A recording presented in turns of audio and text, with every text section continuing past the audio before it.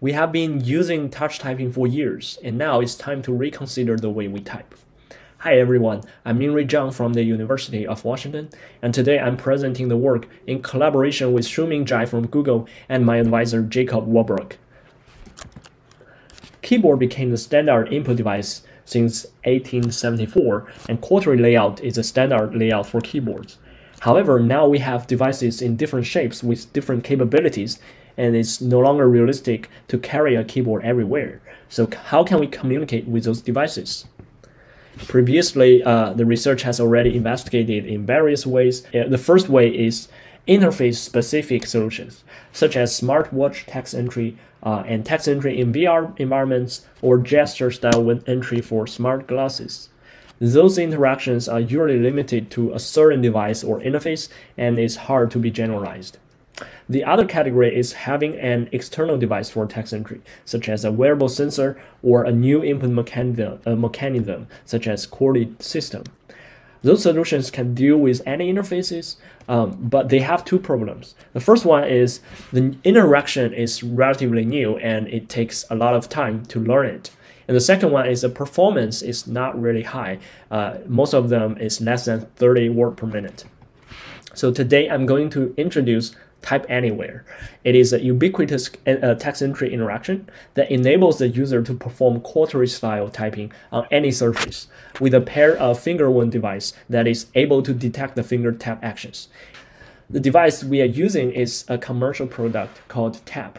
It uses accelerometer to detect, to detect finger taps. And the device is originally designed also as a keyboard. However, it uses a chorded keyboard for single-hand use, uh, where you need to type different fingers together to input a certain character, and that can be very hard to learn. Instead, with Tap Anywhere, the user could perform typing as if there is a keyboard.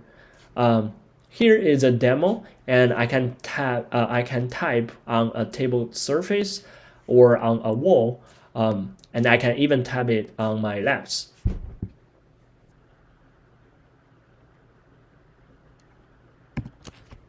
The UI interface for Type Anywhere contains four elements. Uh, in the evaluation study, there's a test area displaying the phrase for the user to type, and there is also a commit area and compose area. When the user performs typing, the text will first appear in the compose area, and the text in the compose area can be changed anytime because the keyboard is decoding them. However, the user could double tap space to commit the text, and the text in the commit area will be fixed and no longer be uh, decoded. And we designed several gestures for special commands. You can tap uh, different fingers together for backspace and enter, and you have this pinch style tapping uh, to select word candidates. Type Anywhere use BERT language model. It's a neural network model to decode the finger taps into corresponding text. We use the text before the typing uh, as a pre-context and the input uh, and input it with the tapped finger sequences. The model will output text in the character level. A traditional keyboard decode decoders uh, will contain two parts, the spatial model and the language model. And the spatial model's goal is to calculate the probability of each key given the tap position x and y. And the goal of the language model is to calculate the probability of the text or the character. For example, if the previous text is GOO, uh, and then the next character might be more likely to be D rather than A. And combining those two models' score, the keyboard can decode the taps into text.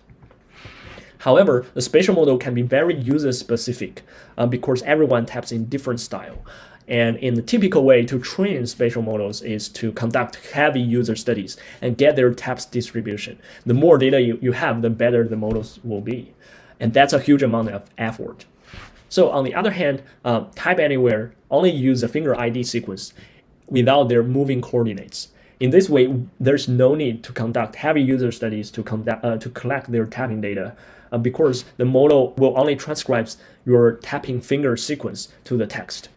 So uh, we use existing large text corpus, uh, uh, including Yelp and Amazon reviews, and uh, translated the text into their corresponding finger index, and using those finger ID sequence to train the BERT decoder.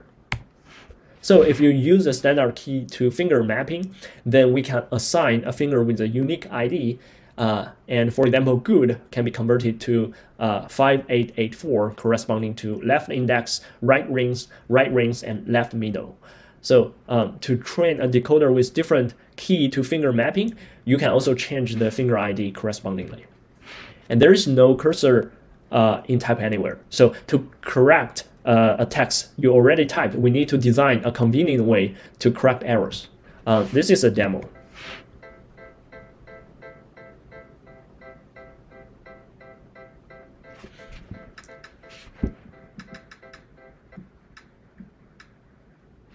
So basically to correct an error, uh, you, you will perform this interaction called type then correct. Um, after you spotting an error, you can just type the correction first and then tapping three fingers together uh, to trigger the correction function. And possible errors will be highlighted. Um, the highlight error will be used uh, to guide you which error is uh, able to correct. Here we use the edit distance to locate possible errors. And you can perform pinch gestures to navigate between different errors and then tap the space gesture to commit the correction. We recruited 10 participants to evaluate Type Anywhere uh, we trained three decoders as they had three different styles of key to finger mappings. Uh, the longitudinal study was conducted throughout five consecutive days where each participant typed uh, 30 minutes uh, for practicing Type Anywhere. And in the first day, we also let them type on a physical keyboard uh, to get their uh, baseline performance. And at the end of the uh, study, we also asked them to perform a Type Anywhere typing on their laps. And each day in the, in the practice, they typed on a tabletop. This is the average performance of their typing speed. Uh, the blue line represents the table surface typing with Type Anywhere. The orange line represents their physical keyboard typing, and the green line is their laps typing performance. And we can see participants got better each day. And at the end of the study, they reached over 80% of the physical keyboard typing speed, which is the fastest typing speed of published text entry studies on a non-physical keyboard to date. Here is an incorrect character level error rate. Participants achieved pretty high accuracy uh, with Type Anywhere.